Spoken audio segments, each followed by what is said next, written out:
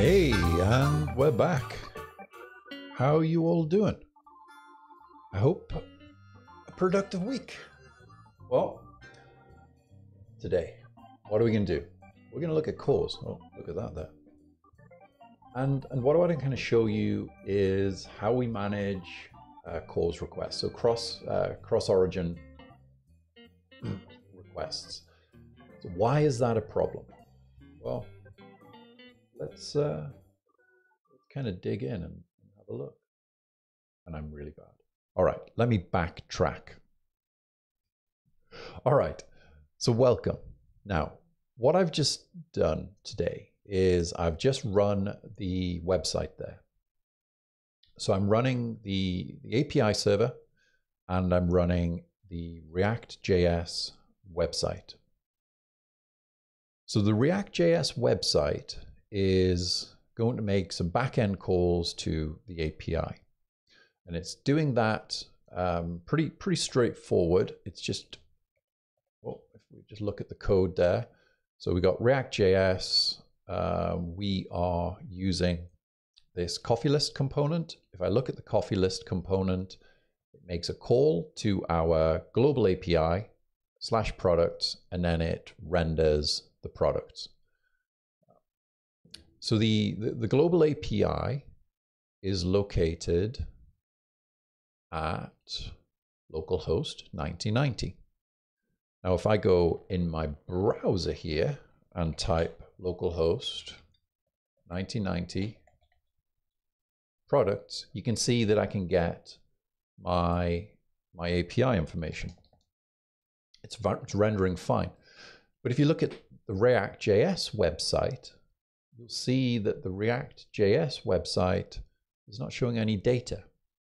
Now that could be my bugs. In this instance, it actually isn't. So let's just inspect. And then let's look at the console. And what you can see here is that it says access to XHTML request at localhost 9090 product from origin 3000 has been blocked by CORS policy.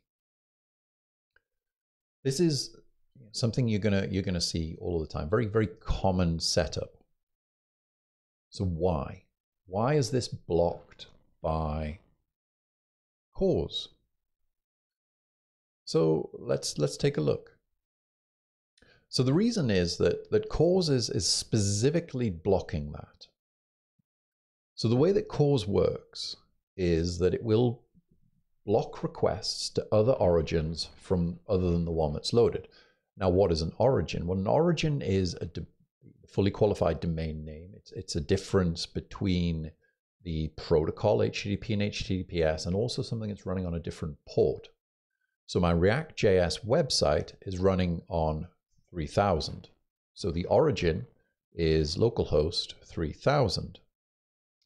And when we we look, um, I apologize. This this doesn't um, doesn't zoom in particularly well, but when we when we kind of look at the request there in the browser, you can see that request. And you can see that the referrer there is localhost 3000, which is the, the original origin. So the website, sorry, the API though, is running at localhost 1990. Now that's a different origin according to CORS because it's got a different port. So the browser is blocking the request. Now, when you kind of just look at CORS, you just think, this is the most irritating thing in the world. Like, why would it possibly be doing this? But you've got to appreciate why it's doing it. So it's doing it to protect, protect us. So what is, is predominantly designed to do is to protect the, the, the browser from sending things like making requests to well let's let's think of a scenario. You're logged into your your banking system. So you log into your banking system. Your banking system writes a cookie to your browser to make uh, api backend requests. But then you visit another page. Let's say you you click on a, a link for a funny meme and as it turns out that is a malicious website now, that malicious website makes a call to your banking API. Now, the way that the browser works is that the browser will see the request made to bigbank.com and it will say, oh, I've got some cookies for bigbank.com. I will send the cookies. So it forwards the cookies to BigBank.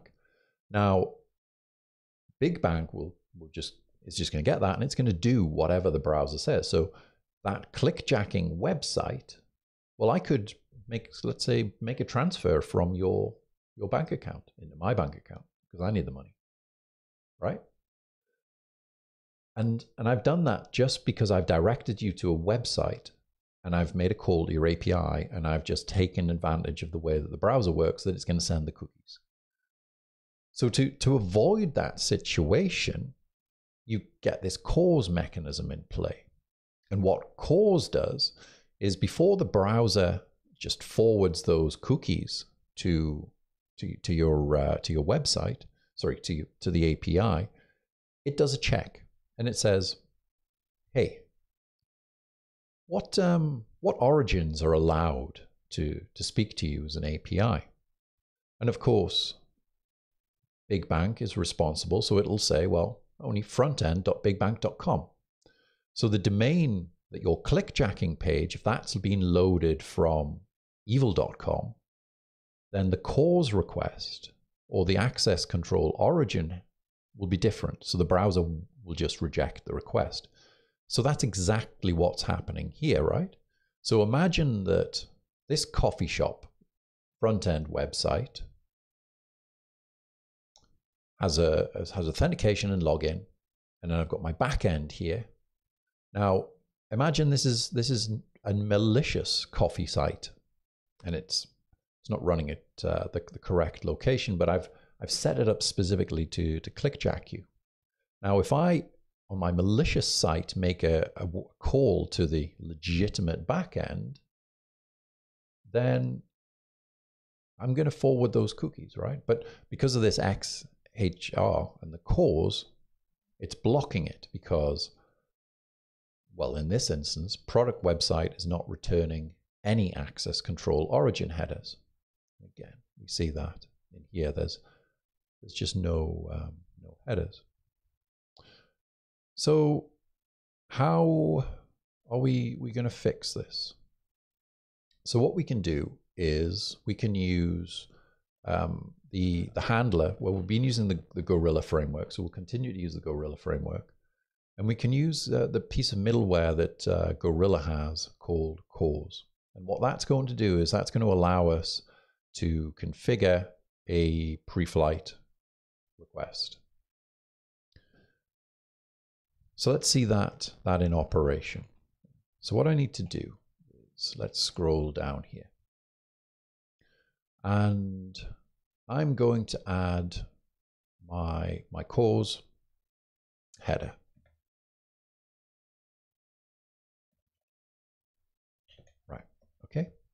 So the, the, the CORS header, I'm just going to use Gorilla, and that's in the, the handlers package for, for Gorilla. So Gorilla CORS, and this is the, the signature here. So let's implement that. I'm going to just have to add the import because I've already got a package called handlers. I'm going to call it Go Handlers. So I add my import there, and then I can create my, my CORS handler. So go handlers dot CORS, and that's going to create me a handler. Call that ch. Nice and easy. So what I can do is I can specify some of the, the options here. And one of the options is what are the, the allowed origins. So go handlers dot allowed origins. So this takes a string. So my allowed origins, well, I'm going to specify it has to be fully qualified, including the protocol, HTTP slash localhost 3000, where my React.js's website is running from. And I can add that as an origin. And then what I can do is I can just use that handler and I'm just going to wrap absolutely everything with this. So I can just go in my server where I've got my, my standard serve mux. Let me just wrap my standard serve mux with my CORS handler. And I'm missing a, oh, well, yeah, I mean, I've been coding completely different language all day, haven't I? So let's try and do that with Go, shall we? Okay, instead of JavaScript. Right. Okay. So we're now running our server again. So when we, we go back over now to our React website, you can see that we've now loaded our data.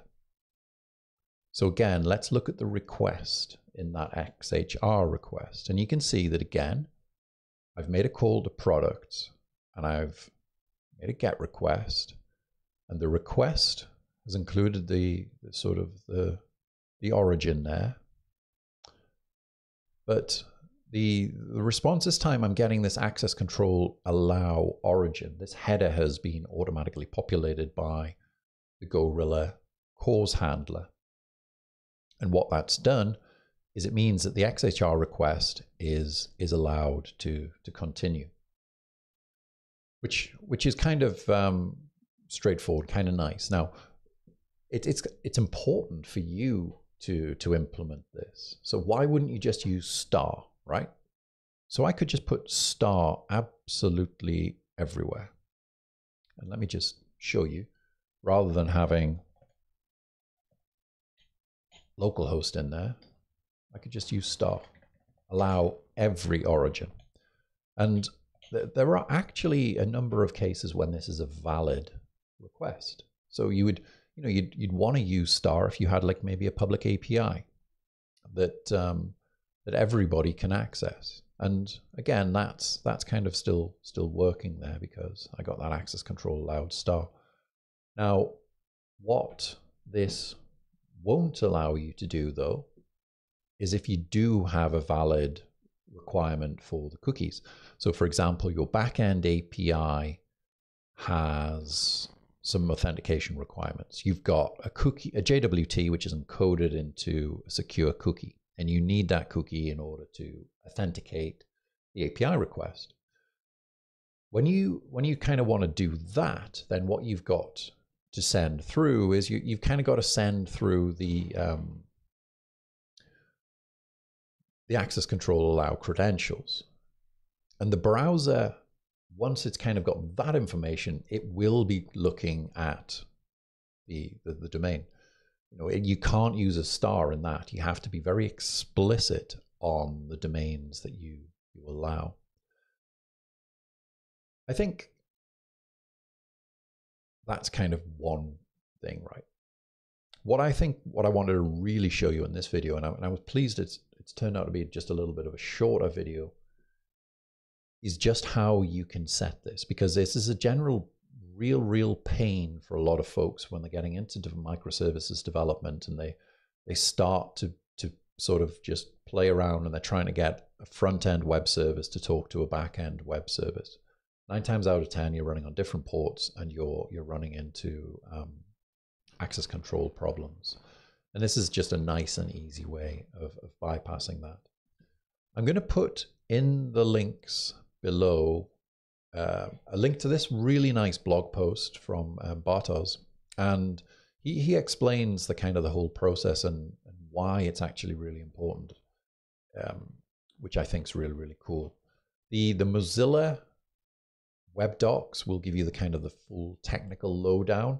Um, if you're going to read one thing, I would read Bartosz's Medium post, but ultimately, the kind of the crux of the matter is when you've got a website which is running on a different domain or a different port or a different protocol to a backend service, the backend service must set the correct headers in order for this React.js. It needs to be setting that access control allow origin header. Otherwise, the data just won't load and you're going to get that really, really confusing. It ain't working. What's going on? Six months later, you'll figure it out. And that was it. That was a real short video today. I'm kind of hoping you enjoyed it. I, find it quite a confusing concept, so I, I do apologize if you if you find this a little bit it's a bit of a pain in the backside. But you know, it's there. And now you know how to handle it. What we're going to do midweek is we're, we're nearly ready to wrap up RESTful APIs. I want to show you how to serve some files and uh, some nice little tricks around doing that. So how we can use things like gzip compression and all from again the standard library. And then next week, we're going to be straight into gRPC services. So REST is done. Into gRPC. gRPC I'm pretty excited about. I'm going to teach you how to use basic sort of unary gRPC, but also how you can use things like gRPC bidirectional streaming. Let's create a cool little chat app or something like. But for now, I thank you for watching and, well, see you next time. It is all.